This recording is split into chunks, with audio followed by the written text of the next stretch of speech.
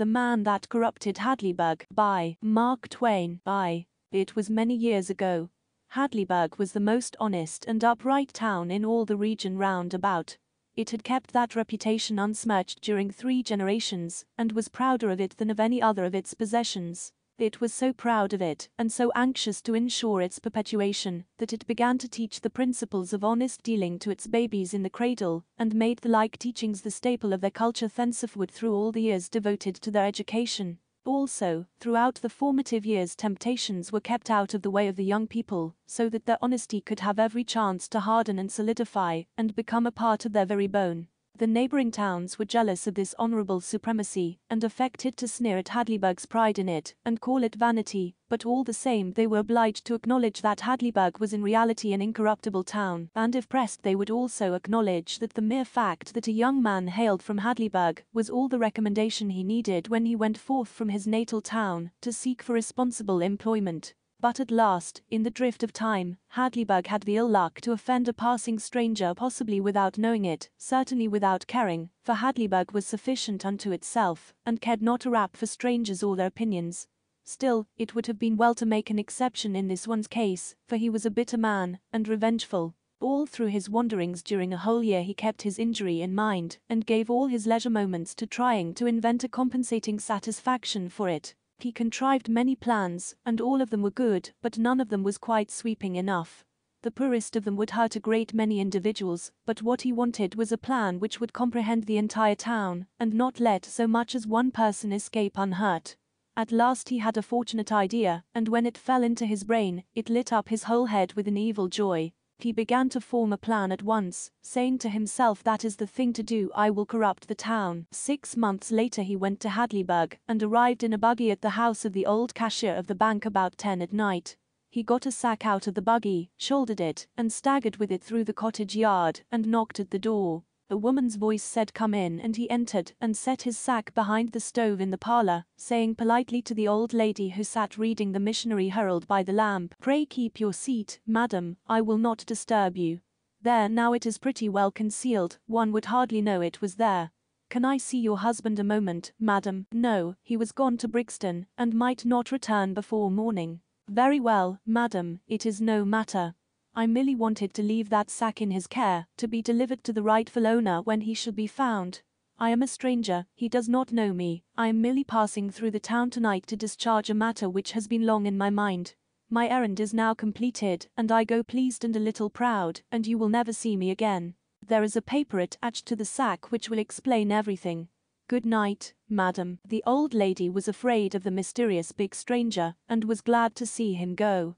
But her curiosity was roused, and she went straight to the sack and brought away the paper.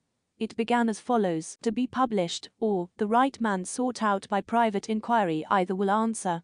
This sack contains gold coin weighing 160 pounds 4 ounces. Mercy on us, and the door not locked. Mrs. Richards flew to it all in a tremble and locked it, then pulled down the window shades and stood frightened, worried, and wondering if there was anything else she could do toward making herself and the money more safe. She listened a while for burglars, then surrendered to curiosity, and went back to the lamp and finished reading the paper. I am a foreigner, and am presently going back to my own country, to remain there permanently. I am grateful to America for what I have received at her hands during my long stay under her flag, and to one of her citizens, a citizen of Hadleyburg, I am especially grateful for a great kindness done me a year or two ago. Two great kindnesses, in fact. I will explain. I was a gambler. I say I was. I was a ruined gambler. I arrived in this village at night, hungry and without a penny. I asked for help in the dark, I was ashamed to beg in the light. I begged of the right man. He gave me twenty dollars, that is to say, he gave me life, as I considered it.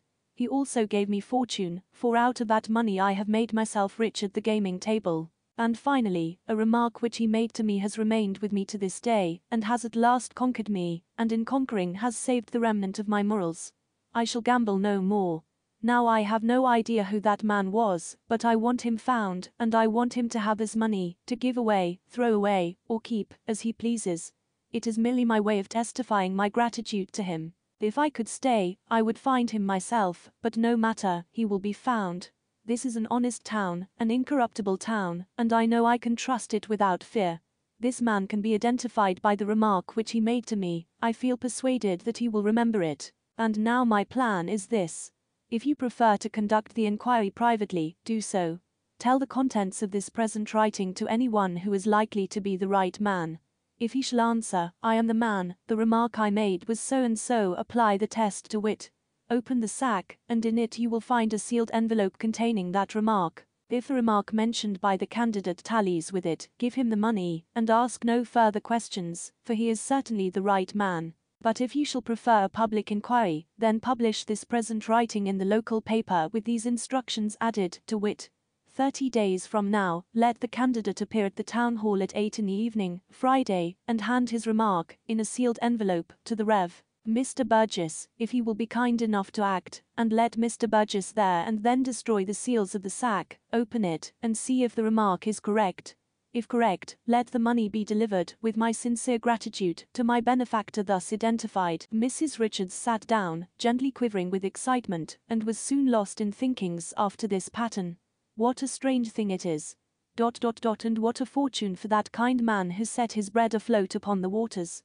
Dot dot dot if it had only been my husband that did it. For we are so poor, so old and poor. Dot dot dot. Then, with a sigh, but it was not my Edward, no, it was not he that gave a stranger twenty dollars. It is a pity too, I see it now. Dot dot close quote then, with a shudder, but it is gambler's money. The wages of sin, we couldn't take it, we couldn't touch it. I don't like to be near it, it seems a defilement. She moved to a farther chair. Dot dot. I wish Edward would come and take it to the bank. A burglar might come at any moment. It is dreadful to be here all alone with it. At 11 Mr. Richards arrived, and while his wife was saying I am so glad you've come, he was saying, I am so tired, tired clear out, it is dreadful to be poor, and have to make these dismal journeys at my time of life always at the grind, grind, grind, on a salary another man's slave, and he sitting at home in his slippers, rich and comfortable. I am so sorry for you, Edward, you know that, but be comforted, we have our livelihood, we have our good name. Yes, Mary, and that is everything. Don't mind my talk, it's just a moment's irritation and doesn't mean anything. Kiss me there, it's all gone now, and I am not complaining any more. What have you been getting? What's in the sack? Then his wife told him the great secret. It dazed him for a moment, then he said, It weighs a hundred and sixty pounds. Why, Mary, it's forty thousand dollars, think of it, a whole fortune. Not ten men in this village are worth that much. Give me the paper. He skimmed through it and said, Isn't it an adventure? Why, it's a romance, it's like the impossible things one reads about in books, and never sees in life.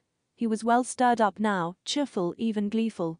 He tapped his old wife on the cheek and said humorously, Why, we're rich, Mary, rich, all we've got to do is to bury the money and burn the papers. If the gambler ever comes to inquire, we'll merely look coldly upon him and say, What is this nonsense you are talking? We have never heard of you and your sack of gold before, and then he would look foolish, and, and in the meantime, while you are running on with your jokes, the money is still here, and it is fast getting along toward burglar time. True. Very well, what shall we do? Make the inquiry private? No, not that, it would spoil the romance. The public method is better. Think what a noise it will make. And it will make all the other towns jealous, for no stranger would trust such a thing to any town but Hadleyburg, and they know it. It's a great card for us. I must get to the printing office now, or I shall be too late. But stop, stop, don't leave me here alone with it, Edward. But he was gone. For only a little while, however.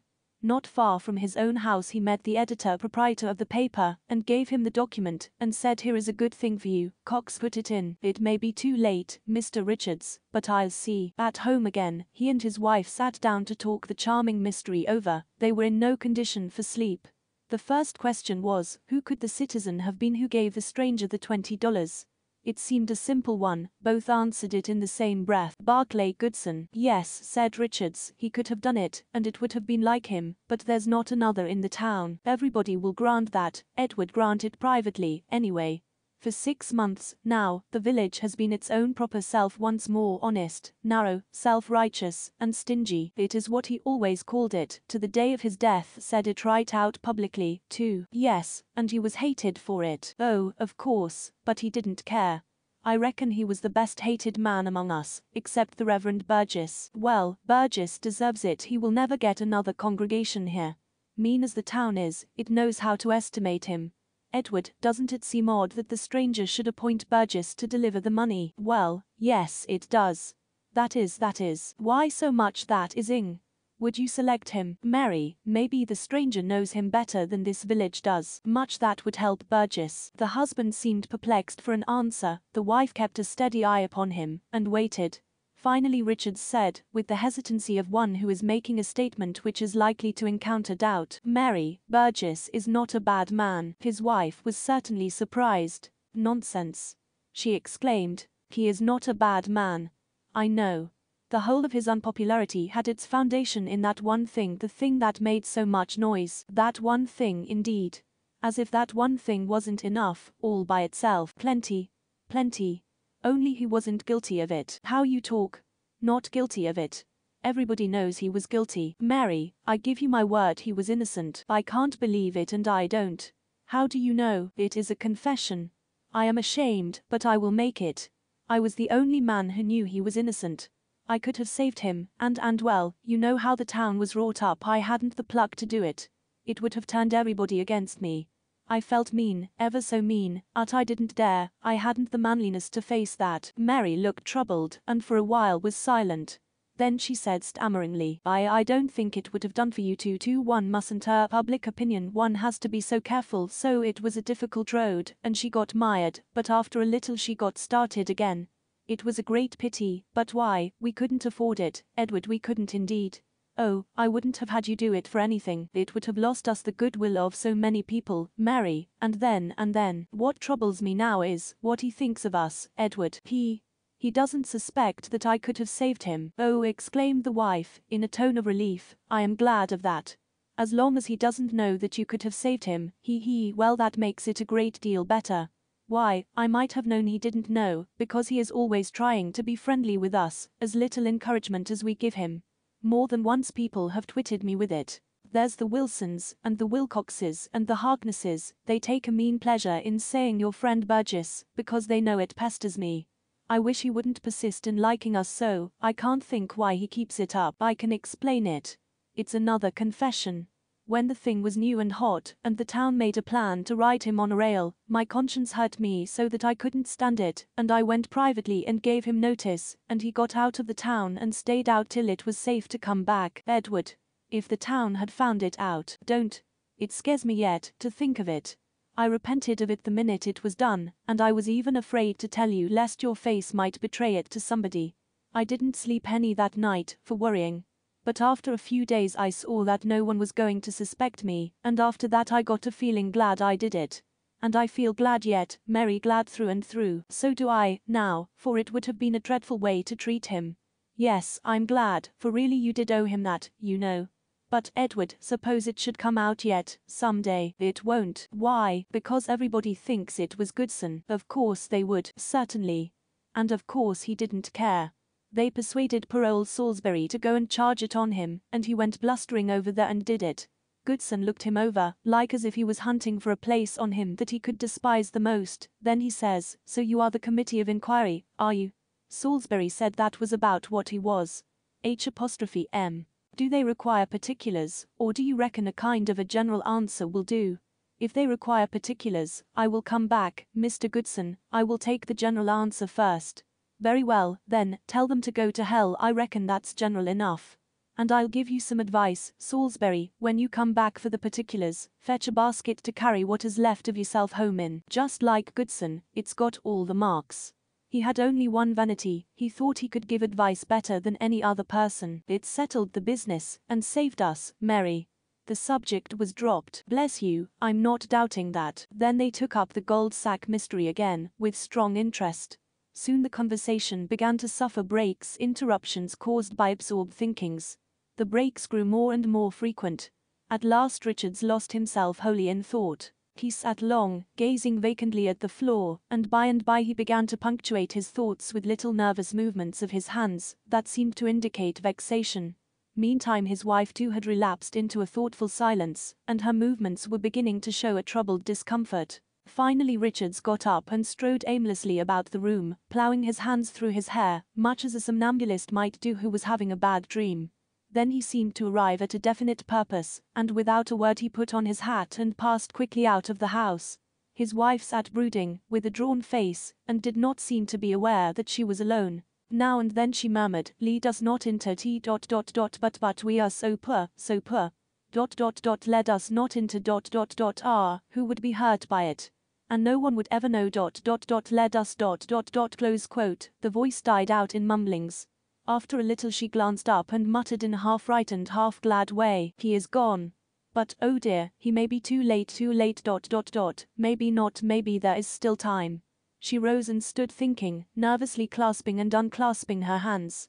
A slight shudder shook her frame, and she said, out of a dry throat, God forgive me it's awful to think such things but dot dot dot Lord, how we are made how strangely we are made. She turned the light low, and slipped stealthily over and knelt down by the sack, and felt of its ridgy sides with her hands, and fondled them lovingly, and there was a gloating light in her old eyes.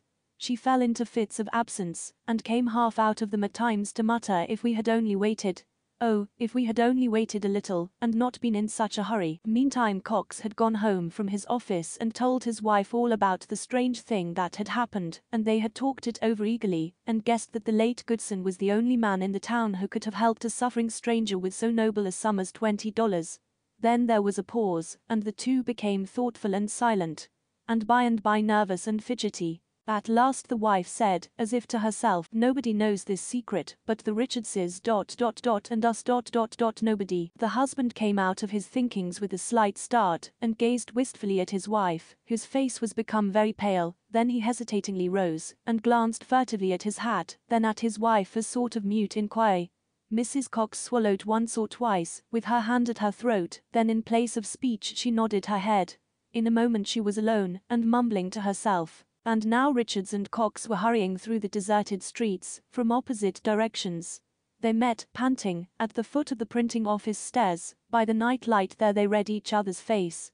Cox whispered, Nobody knows about this but us. The whispered answer was, Not a soul on honor, not a soul. If it isn't too late to. The men were starting upstairs. At this moment they were overtaken by a boy, and Cox asked, Is that you, Johnny? Yes, Sir, you needn't ship the early mail nor any mail, wait till I tell you. It's already gone, sir, gone.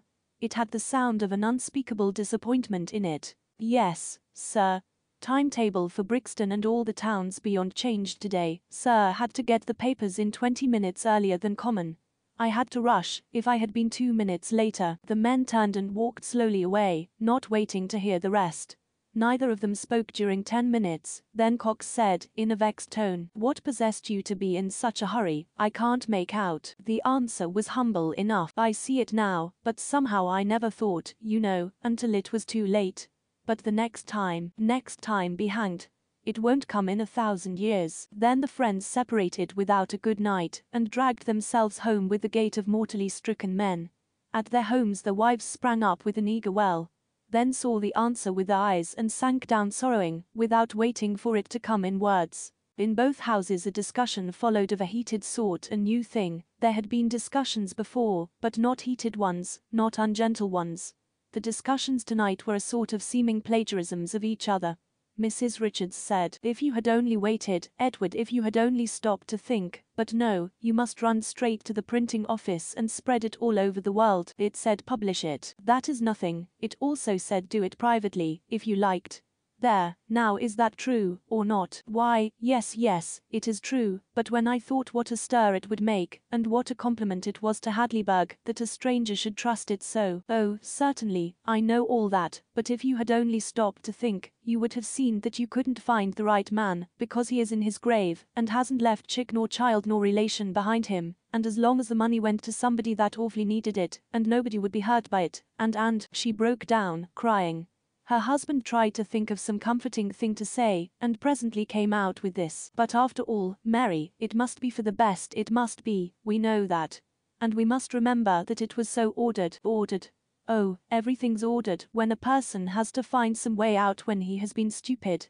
Just the same, it was ordered that the money should come to us in this special way, and it was you that must take it on yourself to go meddling with the designs of Providence, and who gave you the right? It was wicked, that is what it was just blasphemous presumption, and no more becoming to a meek and humble professor of, but, Mary, you know how we have been trained all our lives long, like the whole village, till it is absolutely second nature to us to stop not a single moment to think when there's an honest thing to be done. Oh, I know it, I know it, it's been one everlasting training and training and training in honesty, honesty shielded, from the very cradle, against every possible temptation, and so it's artificial honesty, and weak as water when temptation comes, as we have seen this night. God knows I never had shade nor shadow of a doubt of my petrified and indestructible honesty until now, and now, under the very first big and real temptation, I, Edward, it is my belief that this town's honesty is as rotten as mine is, as rotten as yours. It is a mean town, a hard, stingy town, and hasn't a virtue in the world, but this honesty it is so celebrated for and so conceited about, and so help me, I do believe that if ever the day comes that its honesty falls under great temptation, its grand reputation will go to ruin like a house of cards.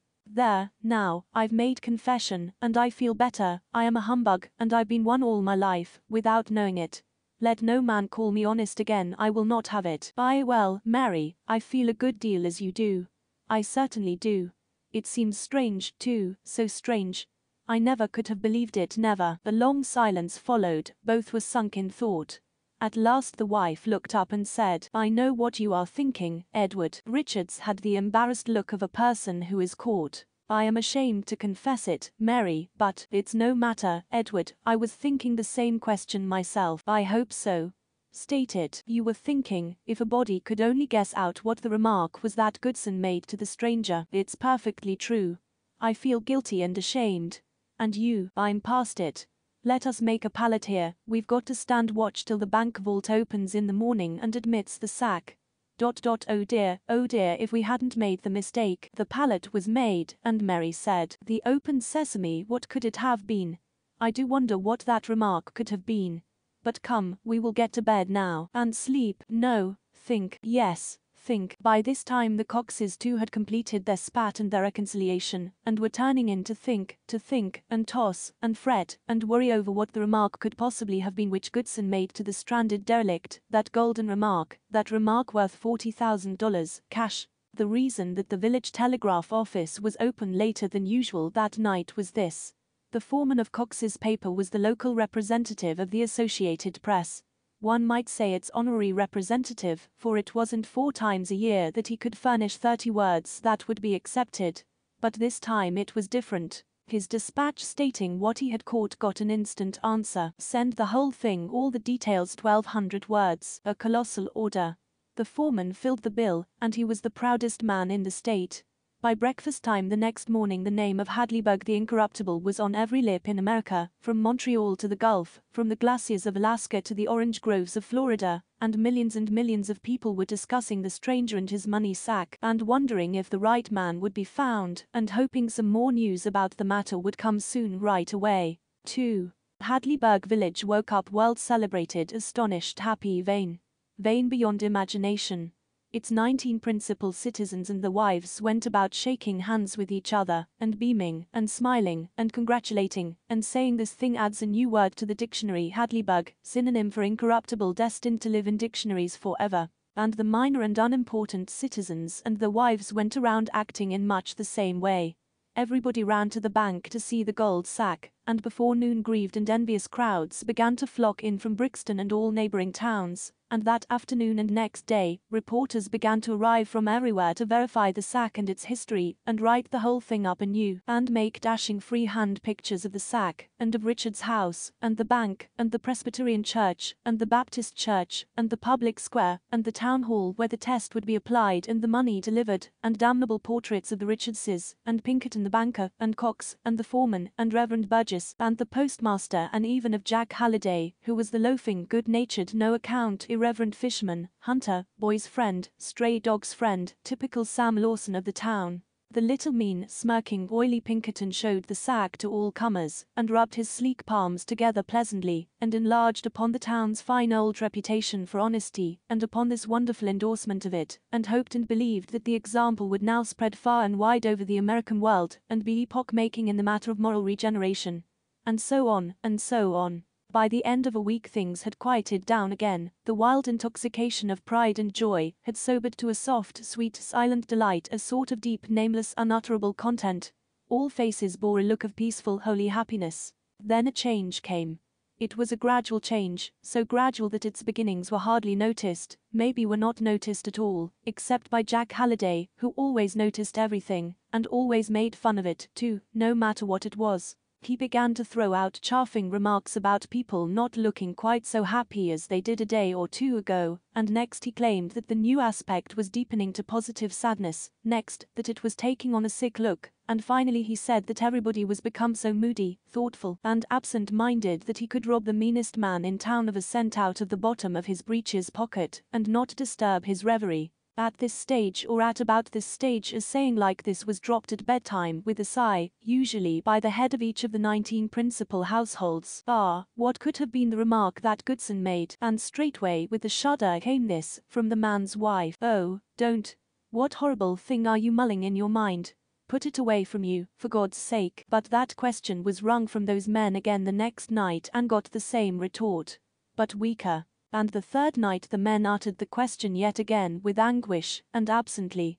This time and the following night the wives fidgeted feebly and tried to say something, but didn't. And the night after that they found their tongues and responded longingly. Oh, if we could only guess. Halliday's comments grew daily more and more sparklingly disagreeable and disparaging.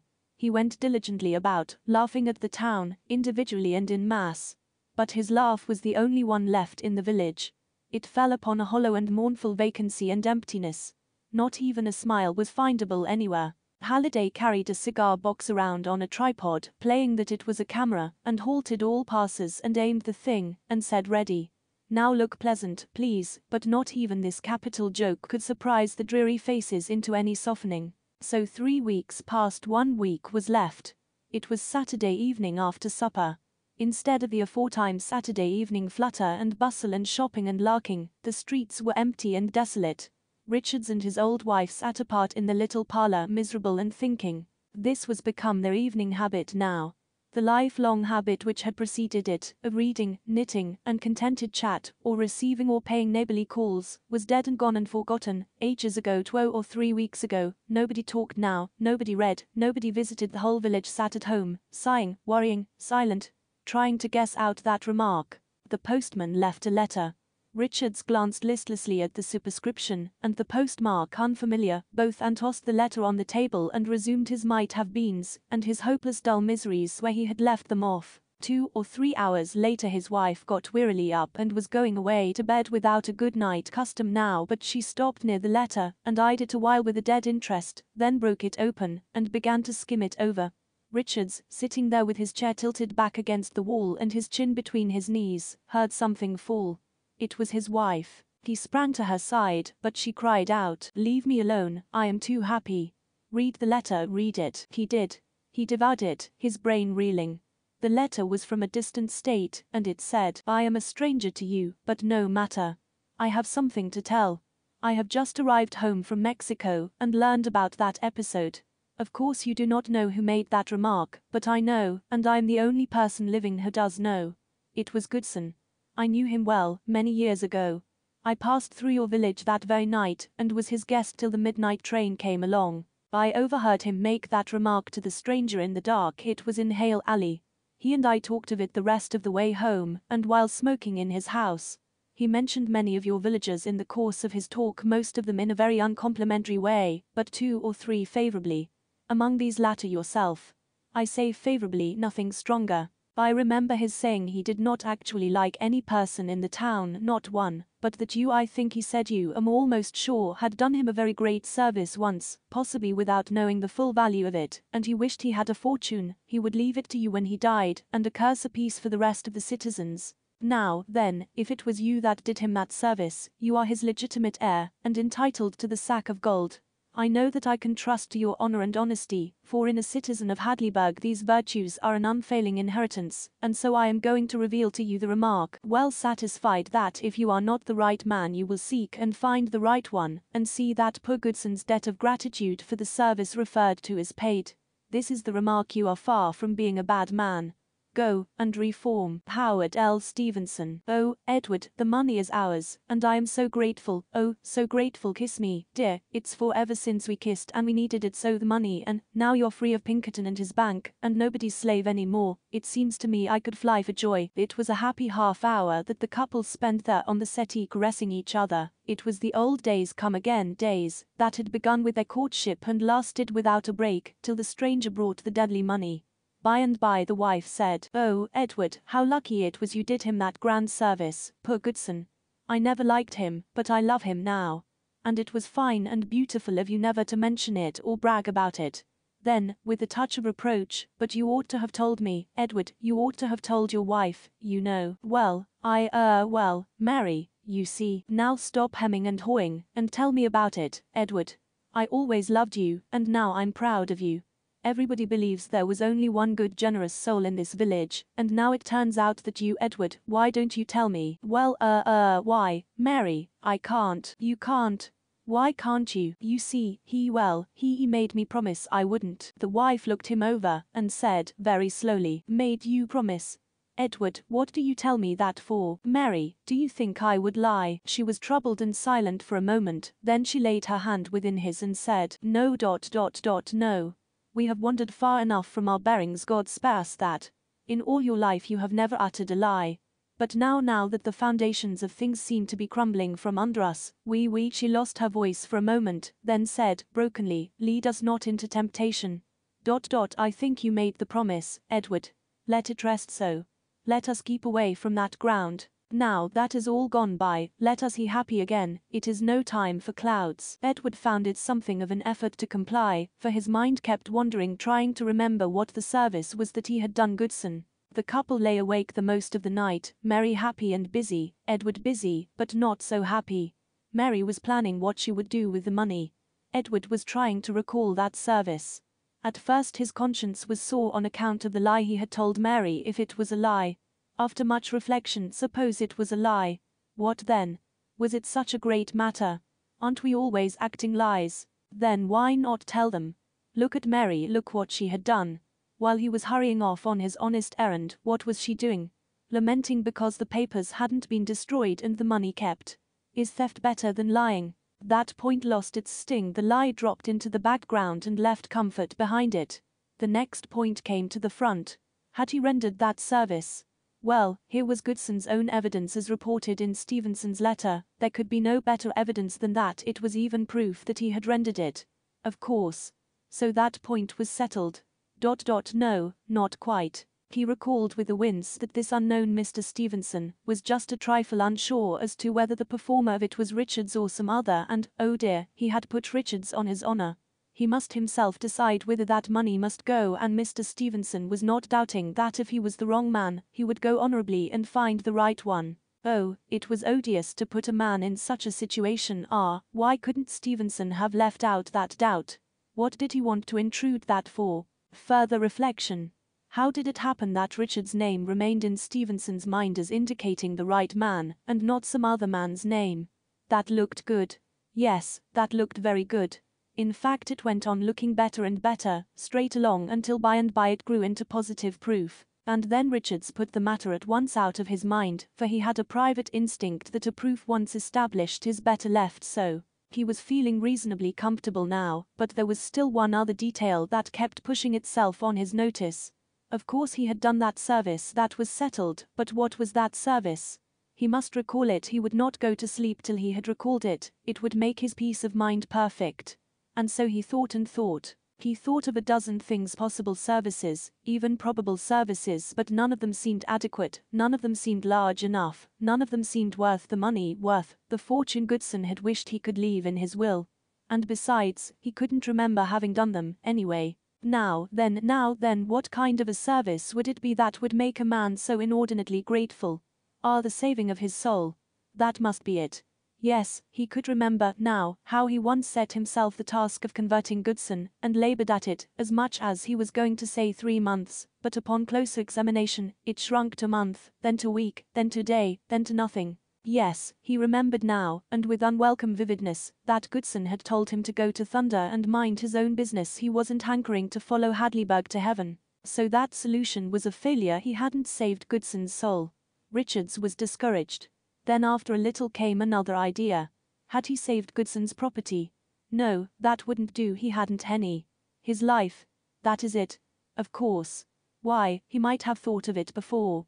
This time he was on the right track, sure. His imagination mill was hard at work in a minute, now. Thereafter, during a stretch of two exhausting hours, he was busy saving Goodson's life.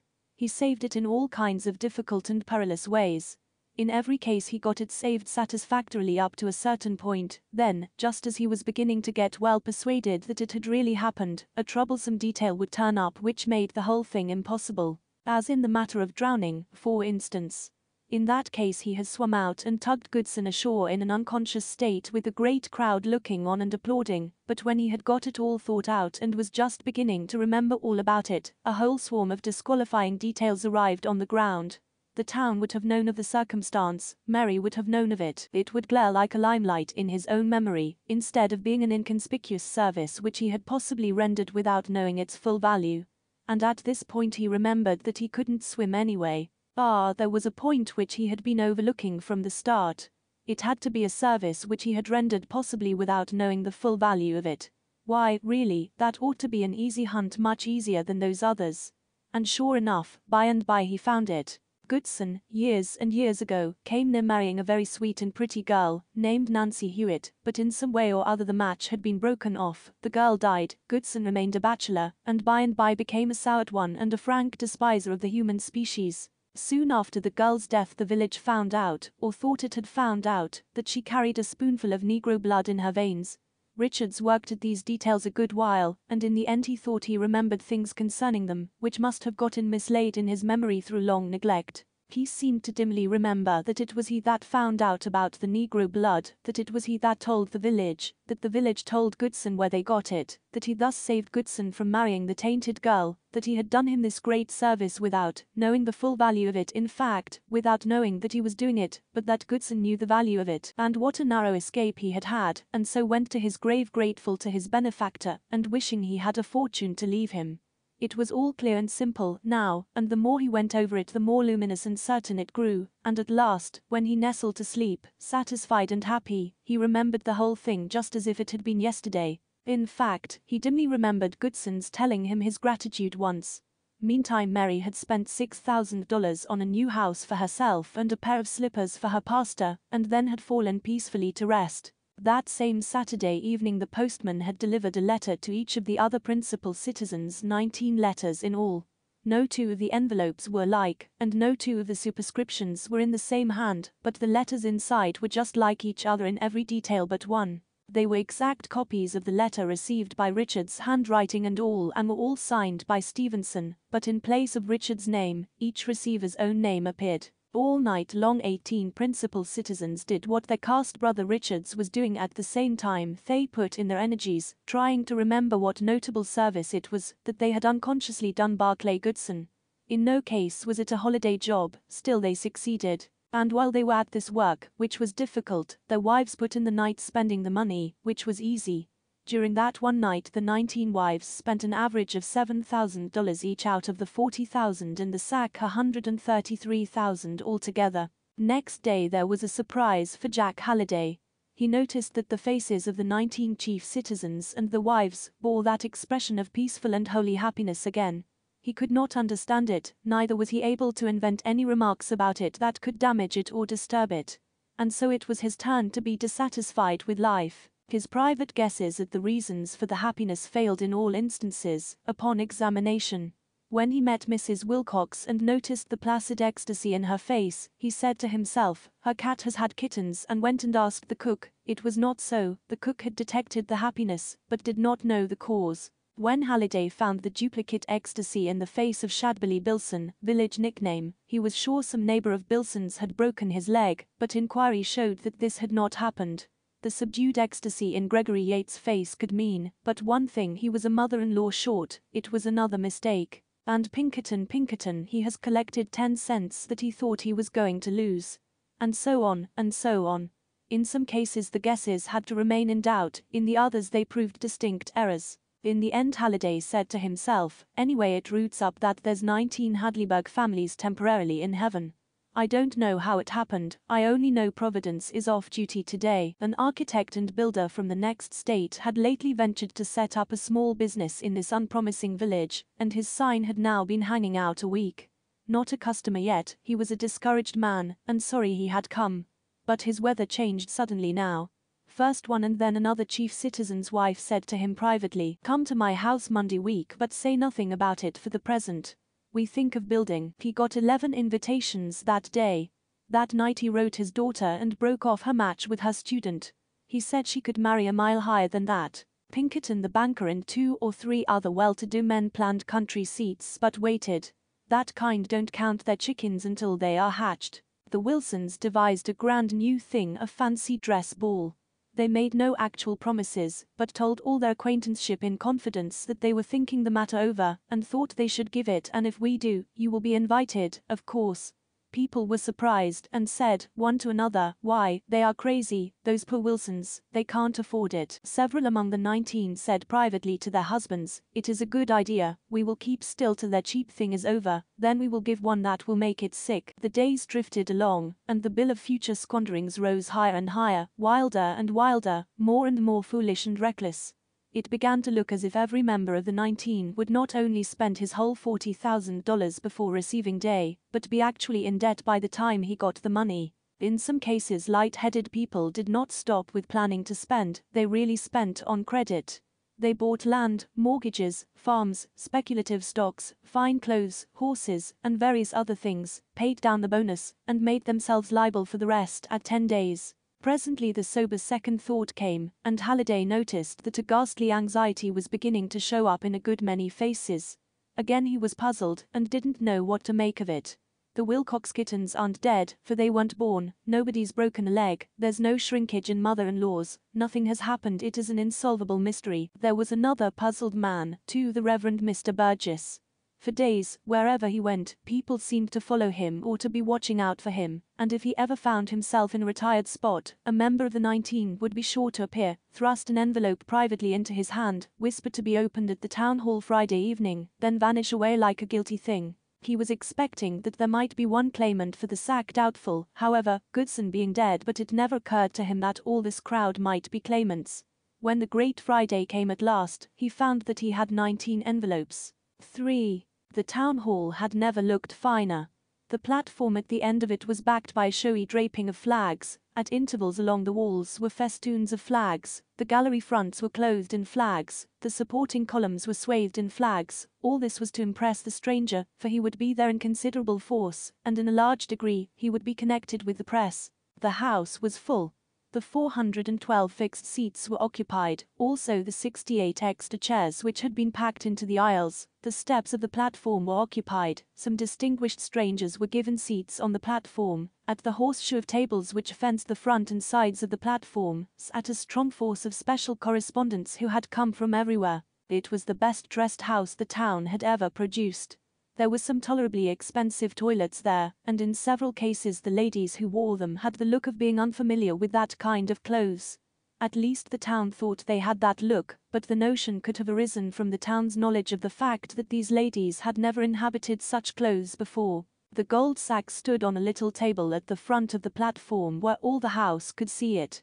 The bulk of the house gazed at it with a burning interest, a mouth-watering interest, a wistful and pathetic interest. A minority of 19 couples gazed at it tenderly, lovingly, proprietarily, and the male half of this minority kept saying over to themselves the moving little impromptu speeches of thankfulness for the audience's applause and congratulations, which they were presently going to get up and deliver. Every now and then one of these got a piece of paper out of his vest pocket and privately glanced at it to refresh his memory.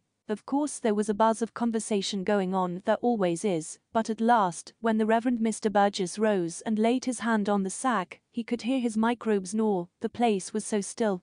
He related the curious history of the sack, then went on to speak in warm terms of Hadleyburg's old and well-earned reputation for spotless honesty, and of the town's just pride in this reputation. He said that this reputation was a treasure of priceless value, that under Providence its value had now become inestimably enhanced, for the recent episode had spread this fame far and wide, and thus had focused the eyes of the American world upon this village, and made its name for all time, as he hoped and believed, a synonym for commercial incorruptibility. Applause. And who is to be the guardian of this noble fame the community as a whole? No. The responsibility is individual, not communal. From this day forth each and every one of you is in his own person its special guardian, and individually responsible that no harm shall come to it. Do you does each of you accept this great trust? Tumultuous assent. Then all is well. Transmit it to your children and to your children's children. Today your purity is beyond reproach, see to it that it shall remain so. Today there is not a person in your community who could be beguiled to touch a penny, not his own see to it that you abide in this grace. We will we will. This is not the place to make comparisons between ourselves and other communities, some of them ungracious towards us. They have their ways, we have ours. Let us be content. Applause. I am done. Under my hand, my friends, rests a stranger's eloquent recognition of what we are. Through him the world will always henceforth know what we are. We do not know who he is, but in your name I utter your gratitude, and ask you to raise your voices in indicement. The house rose in a body and made the walls quake with the thunders of its thankfulness for the space of a long minute. Then it sat down, and Mr. Burgess took an envelope out of his pocket. The house held its breath while he slit the envelope open and took from it a slip of paper. He read its contents slowly and impressively, the audience listening with tranced attention to this magic document, each of whose words stood for an ingot of gold. The remark which I made to the distressed stranger was this You are very far from being a bad man, go and reform. Then he continued Dash we shall know in a moment now whether the remark here quoted corresponds with the one concealed in the sack, and if that shall prove to be so, and it undoubtedly will, this sack of gold belongs to a fellow citizen who will henceforth stand before the nation as the symbol of the special virtue which has made our town famous throughout the land. Mr. Bilson, the house had gotten itself all ready to burst into the proper tornado of applause, but instead of doing it, it seemed stricken with a paralysis. There was a deep hush for a moment or two, then a wave of whispered murmurs swept the place of about this tenor. Bilson. Oh come, this is too thin. Twenty dollars to a stranger or anybody Bilson. Tell it to the Marines. And now at this point the house caught its breath all of a sudden in a new access of astonishment, for it discovered that whereas in one part of the hall, Deacon Bilson was standing up with his head weakly bowed, in another part of it, Lawyer Wilson was doing the same. There was a wondering silence now for a while. Everybody was puzzled, and nineteen couples were surprised and indignant. Bilson and Wilson turned and stared at each other.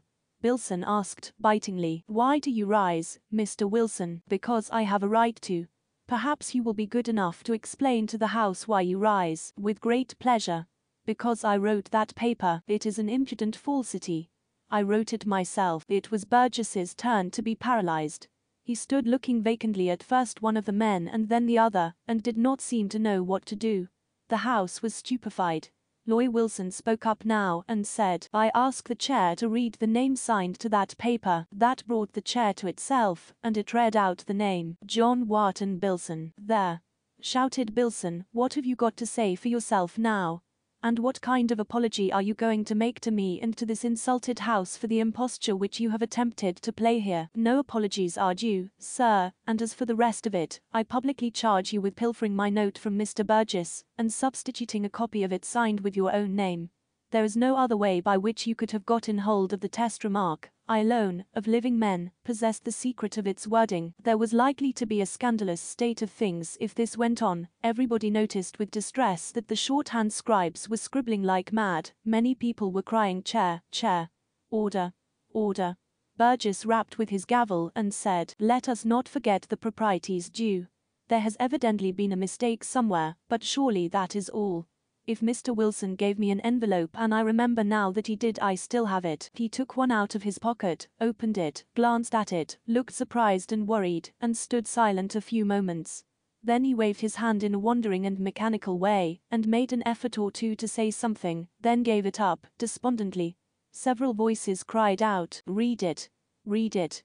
What is it? So he began, in a dazed and sleepwalker fashion. The remark which I made to the unhappy stranger was this. You are far from being a bad man. The house gazed at him marveling. Go and reform. Murmurs. Amazing. What can this mean? This one, said the chair, is signed Thurlow G. Wilson. There. Cried Wilson, I reckon that settles it. I knew perfectly well my note was purloined. Purloined. Retorted Bilson. I let you know that neither you nor any man of your kidney must venture to the chair. Order, gentlemen, order. Take your seats, both of you, please. They obeyed, shaking their heads and grumbling angrily. The house was profoundly puzzled, it did not know what to do with this curious emergency. Presently Thompson got up. Thompson was the hatter. He would have liked to be a nineteener, but such was not for him, his stock of hats was not considerable enough for the position. He said, Mr. Chairman, if I may be permitted to make a suggestion, can both of these gentlemen be right? I put it to you, sir, can both have happened to say the very same words to the stranger? It seems to me. The tanner got up and interrupted him. The tanner was a disgruntled man, he believed himself entitled to be a nineteener, but he couldn't get recognition. It made him a little unpleasant in his ways and speech. Said he, Show, that's not the point. That could happen twice in a hundred years, but not the other thing. Neither of them gave the twenty dollars. A ripple of applause. Bilson. I did, Wilson. I did. Then each accused the other of pilfering. The chair. Order. Sit down, if you please, both of you. Neither of the notes has been out of my possession at any moment. A voice. Good, that settles that. The tanner. Mr. Chairman, one thing is now plain. One of these men has been eavesdropping under the other one's bed and filching family secrets. If it is not unparliamentary to suggest it, I will remark that both are equal to it. The chair. Order.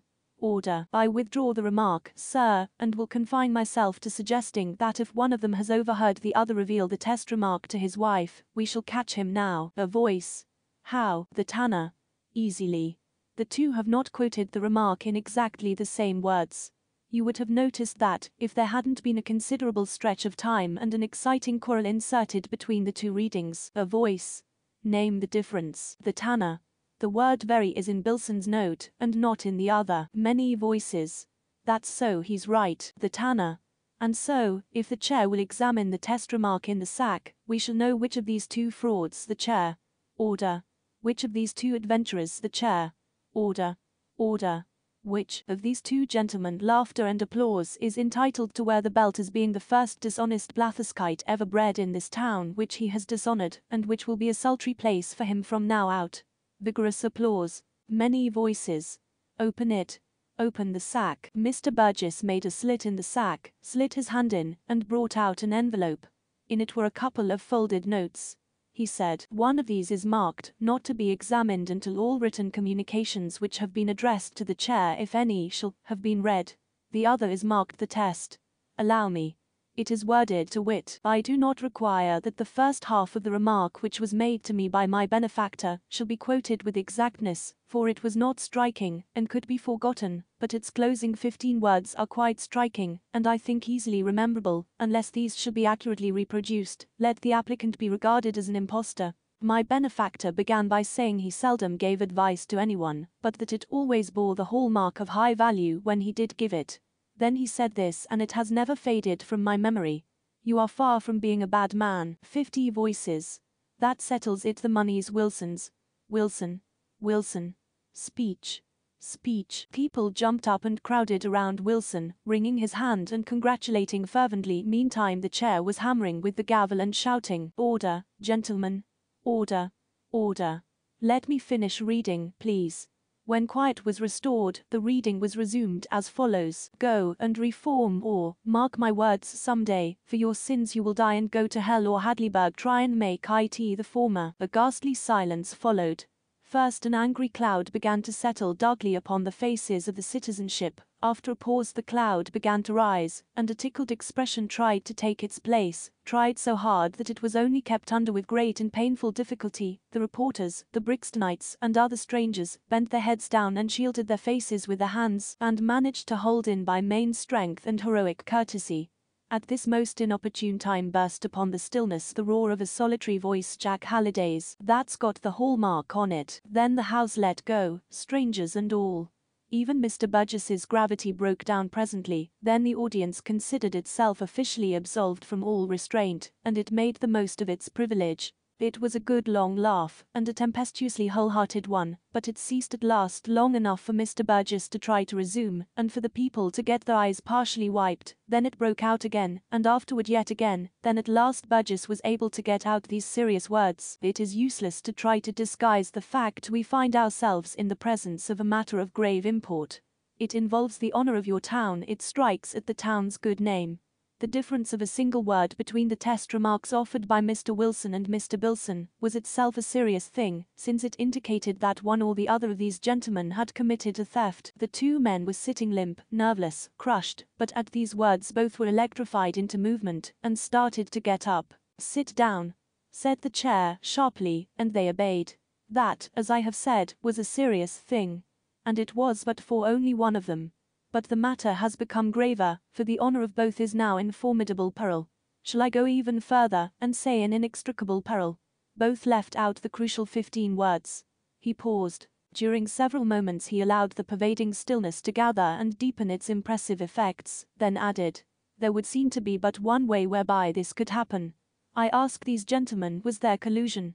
Agreement. The low murmur sifted through the house. Its import was, he's got them both. Bilson was not used to emergencies. He sat in a helpless collapse. But Wilson was a lawyer. He struggled to his feet, pale and worried, and said, I ask the indulgence of the House while I explain this most painful matter. I am sorry to say what I am about to say, since it must inflict irreparable injury upon Mr. Bilson, whom I have always esteemed and respected until now, and in whose invulnerability to temptation I entirely believed, as did you all. But for the preservation of my own honor, I must speak and with frankness. I confess with shame, and I now beseech your pardon for it, that I said to the ruined stranger all of the words contained in the test remark, including the disparaging fifteen. Sensation, when the late publication was made I recalled them, and I resolved to claim the sack of coin, for by every right I was entitled to it. Now I will ask you to consider this point, and weigh it well. That stranger's gratitude to me that night knew no bounds. He said himself that he could find no words for it that were adequate, and that if he should ever be able he would repay me a thousandfold. Now, then, I ask you this, could I expect, could I believe, could I even remotely imagine that, feeling as he did, he would do so ungrateful a thing as to add those quite unnecessary fifteen words to his test? Set a trap for me. Expose me as a slanderer of my own town before my own people assembled in a public hall. It was preposterous, it was impossible. His test would contain only the kindly opening clause of my remark. Of that I had no shadow of doubt. You would have thought as I did you would not have expected a base betrayal from one whom you had befriended and against whom you had committed no offense. And so with perfect confidence, perfect trust, I wrote on a piece of paper the opening words ending with go, and reform and signed it. When I was about to put it in an envelope I was called into my back office, and without thinking I left the paper lying open on my desk. He stopped, turned his head slowly toward Bilson, waited a moment, then added, I ask you to note this, when I returned, a little later, Mr. Bilson was retiring by my street door. Sensation. In a moment Bilson was on his feet and shouting, It's a lie. It's an infamous lie. The chair. Be seated, sir.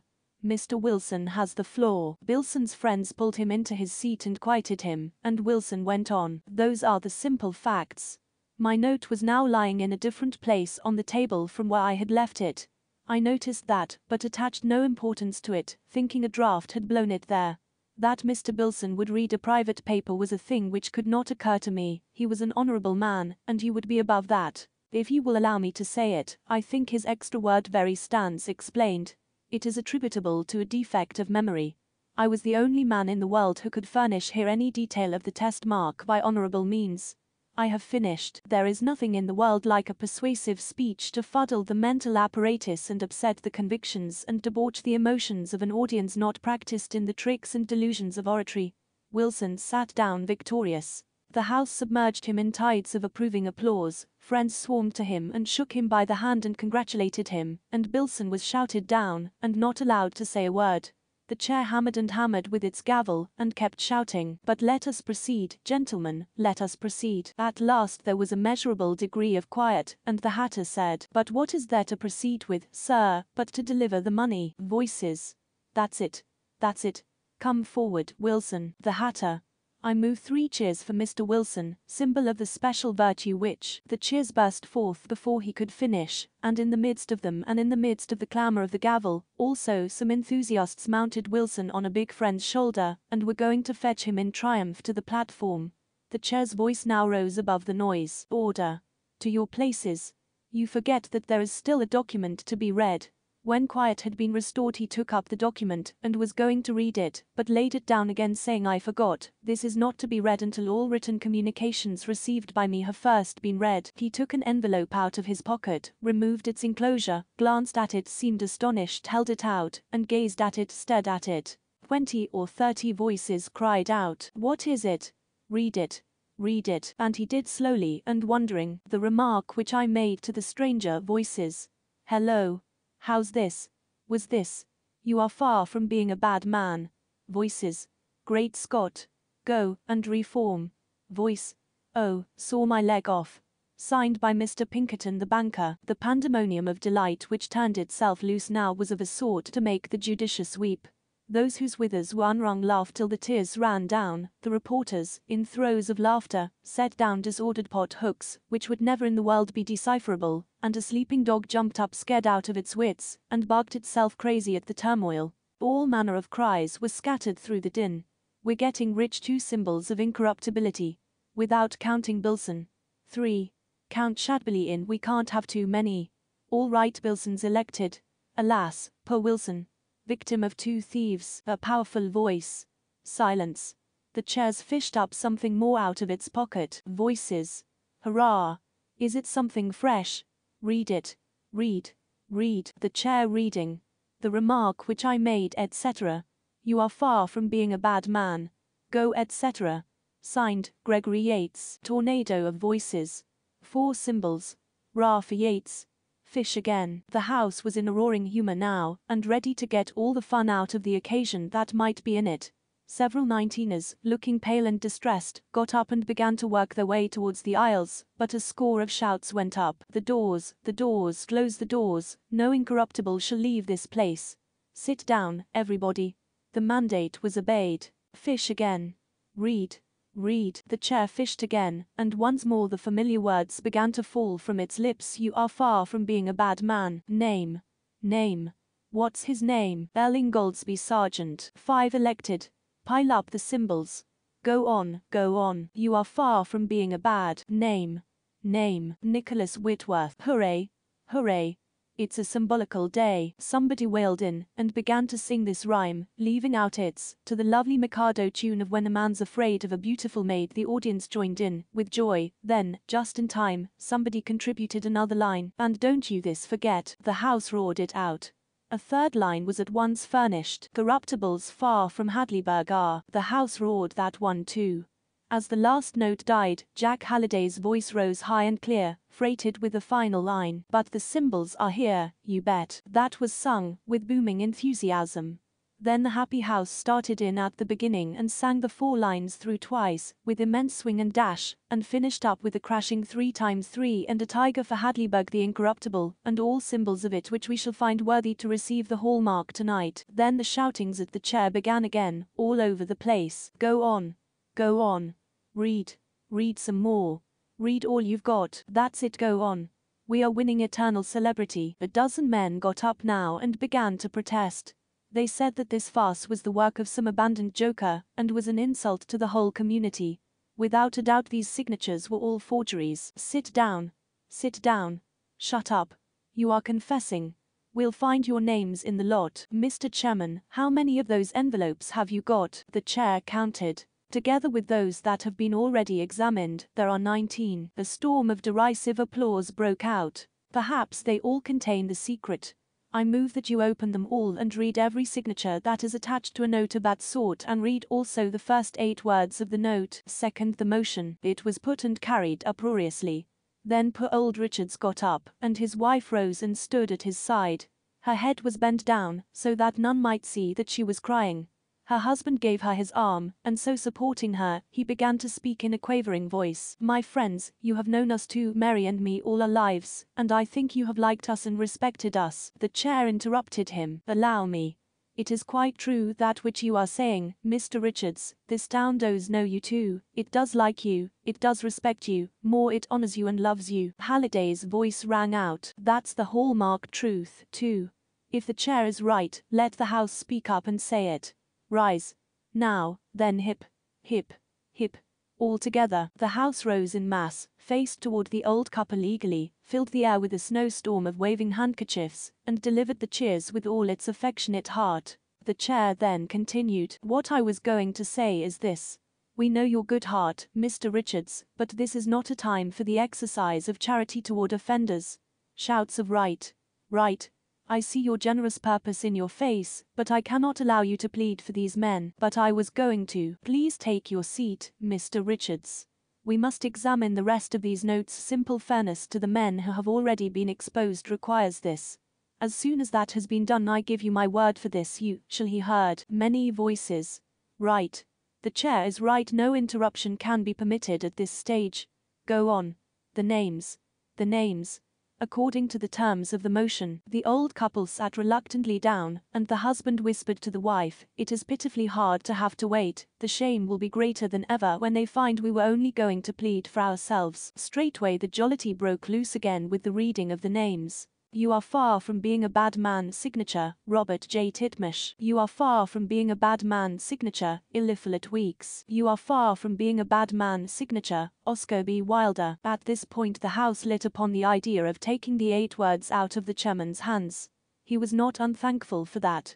Thenceforward he held up each note in its turn and waited. The house droned out the eight words in a massed and measured and musical deep volume of sound, with a daringly close resemblance to well-known church chant you are far from being a BAAAD man. Then the chair said, signature, Archibald Wilcox. And so on, and so on, name after name, and everybody had an increasingly and gloriously good time except the wretched nineteen. Now and then, when a particularly shining name was called, the house made the chair wait while it chanted the whole of the test remark from the beginning to the closing words, and go to hell or Hadleyburg fry, and make it the 4 or mer and in these special cases they added a grand and agonized and imposing AAA amen. The list dwindled, dwindled, dwindled, poor old Richard's keeping tally of the count, wincing when a name resembling his own was pronounced, and waiting in miserable suspense for the time to come when it would be his humiliating privilege to rise with Mary and finish his plea, which he was intending to word thus. Dot dot dot. For until now we have never done any wrong thing, but have gone our humble way unreproached. We are very poor, we are old, and have no chick nor child to help us. We were sorely tempted, and we fell. It was my purpose when I got up before to make confession and beg that my name might not be read out in this public place, for it seemed to us that we could not bear it, but I was prevented. It was just, it was our place to suffer with the rest. It has been hard for us. It is the first time we have ever heard our name fall from anyone's lips sullied. Be merciful for the sake or the better days, make our shame as light to bear as in your charity you can. At this point in his reverie Mary nudged him, perceiving that his mind was absent. The house was chanting, You are F.A.R. etc. Be ready, Mary whispered. Your name comes now, he has read 18. The chant ended. Next, next, next, came volleying from all over the house. Burgess put his hand into his pocket, the old couple, trembling, began to rise. Burgess fumbled a moment, then said, I find I have read them all. Faint with joy and surprise, the couple sank into their seats, and Mary whispered, Oh, bless God, we are saved. He has lost ours. I wouldn't give this for a hundred of those sacks. The house burst out with its Mikado travesty, and sang it three times with ever increasing enthusiasm, rising to its feet when it reached for the third time the closing line. But the symbols are here, you bet. And finishing up with cheers and a tiger for Hadleyburg purity, and our 18 immortal representatives of it. Then Wingate, the saddler, got up and proposed cheers for the cleanest man in town, the one solitary important citizen in it, who didn't try to steal that money Edward Richards. They were given with great and moving heartiness. Then somebody proposed that Richards be elected sole guardian and symbol of the now sacred Hadleyburg tradition, with power and right to stand up and look the whole sarcastic world in the face. Passed by acclamation. Then they sang the Mikado again, and ended it with, and there's one symbol left, you bet. There was a pause, then, a voice. Now, then, who's to get the sack? The tanner, with bitter sarcasm. That's easy. The money has to be divided among the 18 incorruptibles. They gave the suffering stranger $20 apiece and that remark each in his turn. It took 22 minutes for the procession to move past. Staked the stranger total contribution, $360. All they want is just the loan back and interest $40,000 altogether. Many voices derisively. That's it. Divvy. Divvy. Be kind to the poor, don't keep them waiting. The chair. Order. I now offer the stranger's remaining document. It says, if no claimant shall appear grand chorus of groans, I desire that you open the sack, and count out the money to the principal citizens of your town, they to take it in trust cries of oh, oh, oh, and use it in such ways as to them shall seem best for the propagation and preservation of your community's noble reputation for incorruptible honesty more cries a reputation, to which their names and their efforts will add a new and far-reaching luster. Enthusiastic outburst of sarcastic applause. That seems to be all. No, here is a postscript. P.S. Citizens of Hadleyburg. There is no test remark, nobody made one. Great sensation. There wasn't any pauper stranger, nor any $20 contribution, nor any accompanying benediction and compliment. These are all inventions. General buzz and hum of astonishment and delight. Allow me to tell my story, it will take but a word or two. I passed through your town at a certain time, and received a deep offence which I had not earned. Any other man would have been content to kill one or two of you and call it square, but to me that would have been a trivial revenge, and inadequate, for the dead do not suffer.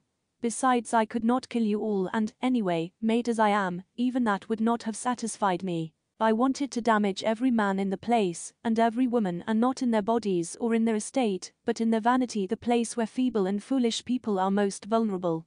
So I disguised myself and came back and studied you.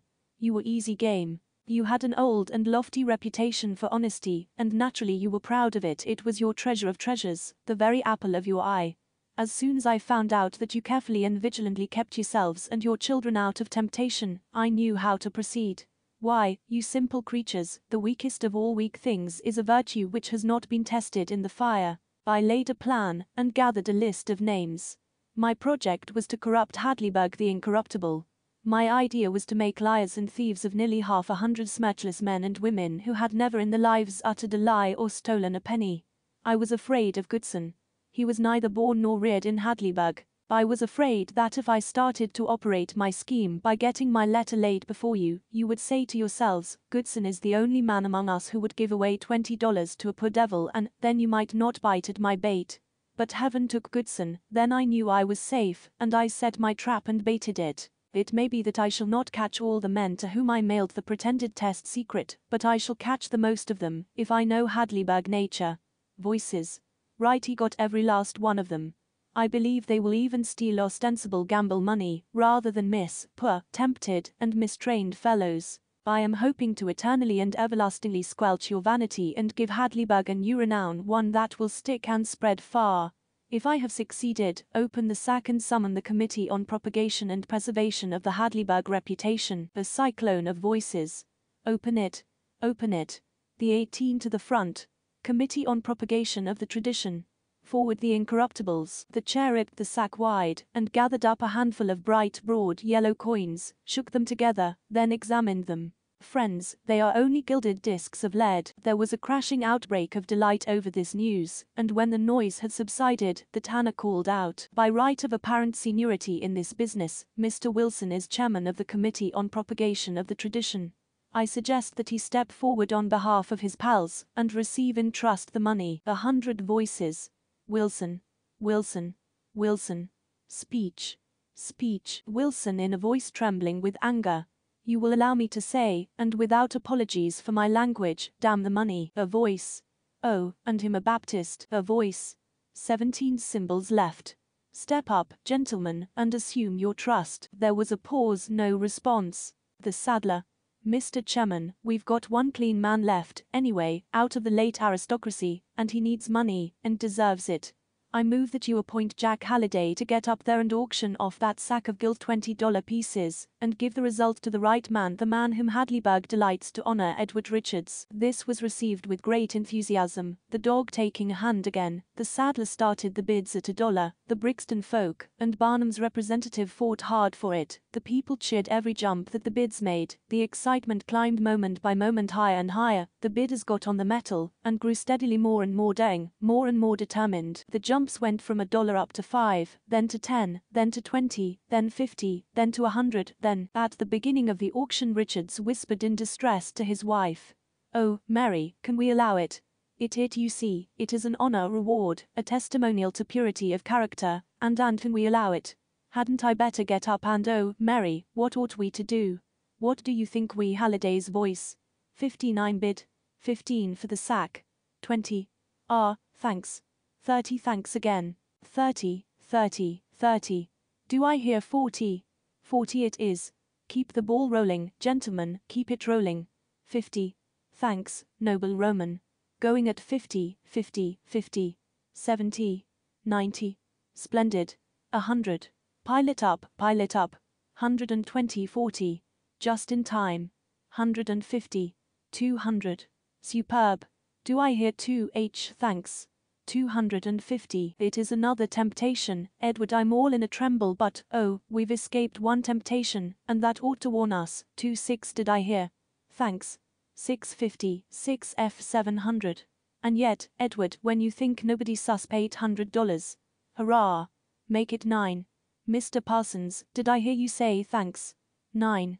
This noble sack of virgin lead going at only $900, gilding and all come. Do I hear a thousand? Gratefully yours. Did someone say 11? A sack which is going to be the most celebrated in the whole uni. Oh, Edward, beginning to sob, we are so poor. But but do as you think best, do as you think best. Edward fell, that is, he sat still, sat with a conscience which was not satisfied, but which was overpowered by circumstances. Meantime a stranger, who looked like an amateur detective gotten up as an impossible English earl, had been watching the evening's proceedings with manifest interest, and with a contented expression in his face, and he had been privately commenting to himself. He was now soliloquizing somewhat like this. None of the 18 are bidding, that is not satisfactory, I must change that the dramatic unities require it, they must buy the sack they tried to steal, they must pay a heavy price, too some of them are rich. And another thing, when I make a mistake in Hadleyburg nature the man that puts that error upon me, is entitled to a high honorarium, and some one must pay. This poor old Richards has brought my judgment to shame, he is an honest man. Dash I don't understand it, but I acknowledge it. Yes, he saw my juices and with a straight flush, and by rights the pot is his. And it shall be a jackpot, too, if I can manage it. He disappointed me, but let that pass. He was watching the bidding. At a thousand, the market broke. The prices tumbled swiftly. He waited and still watched. One competitor dropped out, then another and another. He put in a bid or two now. When the bids had sunk to $10, he added a 5, someone raised him a 3, he waited a moment, then flung in a $50 jump, and the sack was his at $1,282. The house broke out in cheers, then stopped, for he was on his feet and had lifted his hand. He began to speak. I desire to say a word and ask a favor.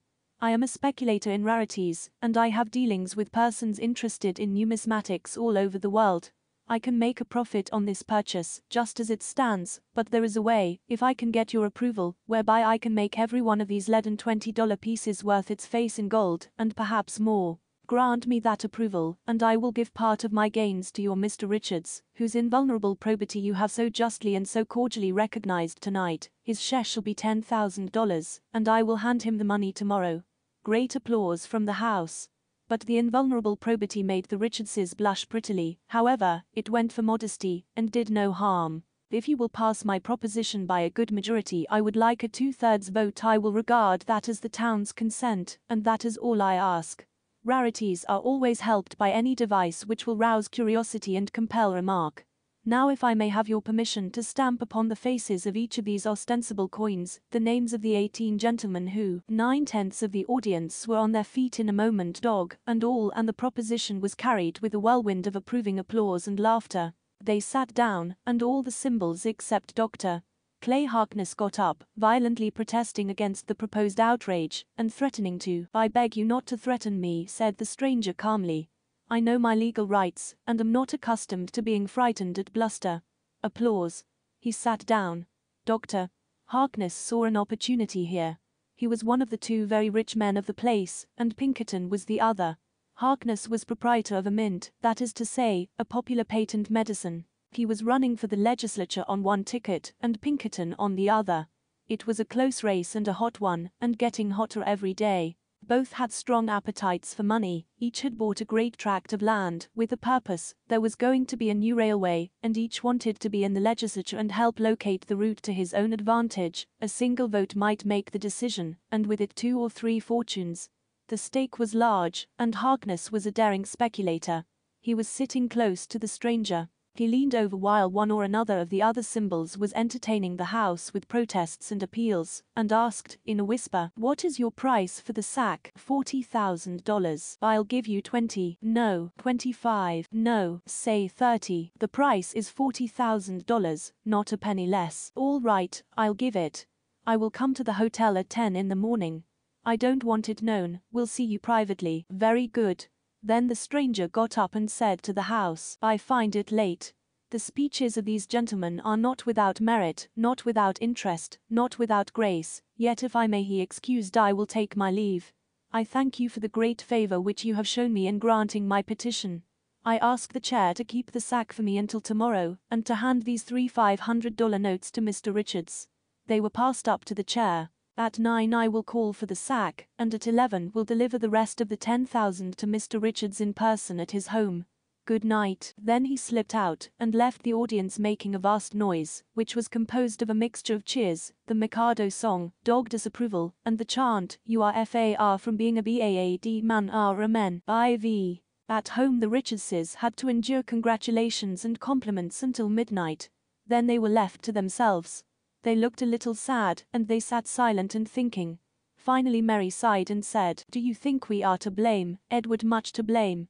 Anna's eyes wandered to the accusing triplet of big bank notes lying on the table, where the congratulators had been gloating over them, and reverently fingering them. Edward did not answer at once, then he brought out a sigh and said, hesitatingly, We, we couldn't help it, Mary. It well, it was ordered. All things are. Mary glanced up and looked at him steadily, but he didn't return the look. Presently she said, I thought congratulations and praises always tasted good. But it seems to me, now Edward, well, are you going to stay in the bank? N no, resign, in the morning by note, it does seem best. Richards bowed his head in his hands and muttered, before I was not afraid to let oceans of people's money pour through my hands, but Mary, I am so tired, so tired, we will go to bed. At nine in the morning the stranger called for the sack and took it to the hotel in a cab. At 10 Harkness had a talk with him privately. The stranger asked for and got five checks on a Metropolitan Bank drawn to bearer four for $1,500 each, and one for $34,000. He put one of the former in his pocket book, and the remainder, representing $38,500, he put in an envelope, and with these he added a note which he wrote after Harkness was gone. At 11 he called at the Richards house and knocked. Mrs. Richards peeped through the shutters, then went and received the envelope, and the stranger disappeared without a word. She came back flushed and a little unsteady on her legs, and gasped out, I am sure I recognized him. Last night it seemed to me that maybe I had seen him somewhere before. He is the man that brought the sack here. I am almost sure of it. Then he is the ostensible Stephenson too, and sold every important citizen in this town with his bogus secret. Now if he has sent checks instead of money, we are sold too, after we thought we had escaped. I was beginning to feel fairly comfortable once more, after my night's rest, but the look of that envelope makes me sick. It isn't fat enough, $8,500 in even the largest banknotes, makes more bulk than that. Edward, why do you object to checks? Checks signed by Stephenson, I am resigned to take the $8,500 if it could come in banknotes, for it does seem that it was so ordered, Mary, but I have never had much courage, and I have not the pluck to try to market a check signed with that disastrous name. It would be a trap. That man tried to catch me, we escaped somehow or other, and now he is trying a new way. If it is checks, oh, Edward, it is too bad. And she held up the checks and began to cry. Put them in the fire. Quick. We mustn't be tempted. It is a trick to make the world laugh at us, along with the rest, and give them to me, since you can't do it. He snatched them and tried to hold his grip till he could get to the stove, but he was human, he was a cashier, and he stopped a moment to make sure of the signature. Then he came near to fainting. Fan me, Mary, fan me. They are the same as gold. Oh, how lovely, Edward. Why, signed by Harkness. What can the mystery of that be, Mary? Edward, do you think? Look here, look at this. 15, 15, 15, 34. 38,500.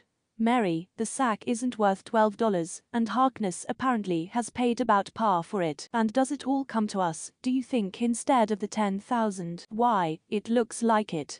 And the checks are made to bearer too. Is that good, Edward? What is it for? A hint to collect them at some distant bank, I reckon. Perhaps Harkness doesn't want the matter known. What is that, a note? Yes. It was with the checks, it was in the Stephenson handwriting, but there was no signature. It said, I am a disappointed man. Your honesty is beyond the reach of temptation. I had a different idea about it, but I wronged you in that, and I beg pardon, and do it sincerely. I honor you, and that is sincere too. This town is not worthy to kiss the hem of your garment. Dear sir, I made a square bet with myself that there were 19 debauchable men in your self righteous community. I have lost. Take the whole pot, you are entitled to it. Richards drew a deep sigh and said, It seems written with fire it burns so. Mary, I am miserable again. I, too. Ah, dear, I wish to think, Mary, he believes in me. Oh, don't, Edward, I can't bear it. If those beautiful words were deserved, Mary, and God knows I believed I deserved them once, I think I could give the $40,000 for them and I would put that paper away, as representing more than gold and jewels, and keep it always. But now we could not live in the shadow of its accusing presence, Mary. He put it in the fire. A messenger arrived and delivered an envelope. Richards took from it a note and read it. It was from Burgess. You saved me in a difficult time. I saved you last night. It was at cost of a lie, but I made the sacrifice freely and out of a grateful heart. None in this village knows so well as I know how brave and good and noble you are. At bottom you cannot respect me, knowing as you do that matter of which I am accused, and by the general voice condemned, but I beg that you will at least believe that I am a grateful man, it will help me to bear my burden. Signed Burgess, saved, once more. And on such terms. He put the note in the lyre. I, I wish I were dead, Mary, I wish I were out of it all. Oh, these are bitter, bitter days, Edward. The stabs, through their very generosity, are so deep and they come so fast. Three days before the election each of 2,000 voters suddenly found himself in possession of a prized memento one of the renowned bogus double eagles. Around one of its faces was stamped these words. The remark I made to the poor stranger was around the other face was stamped these. Go, and reform signed Pinkerton. Thus the entire remaining refuse of the renowned joke was emptied upon a single head, and with calamitous effect. It revived the recent vast laugh and concentrated it upon Pinkerton, and Harkness's election was a walkover. Within 24 hours after the Richardses had received their checks, their consciences were quieting down, discouraged, the old couple were learning to reconcile themselves to the sin which they had committed, but they were to learn, now, that a sin takes on new and real terrors, when there seems a chance that it is going to be found out. This gives it a fresh and most substantial and important aspect. At church the morning sermon was of the usual pattern, it was the same old things said in the same old way, they had heard them a thousand times and found them innocuous, next to meaningless, and easy to sleep under, but now it was different. The sermon seemed to bristle with accusations, it seemed aimed straight and specially at people who were concealing deadly sins. After church they got away from the mob of congratulators as soon as they could and hurried homeward, chilled to the bone at they did not know what vague shadowy indefinite fears. And by chance they caught a glimpse of Mr. Burgess as he turned a corner. He paid no attention to their nod of recognition. He hadn't seen it, but they did not know that. What could his conduct mean? It might mean, it might mean, oh, a dozen dreadful things.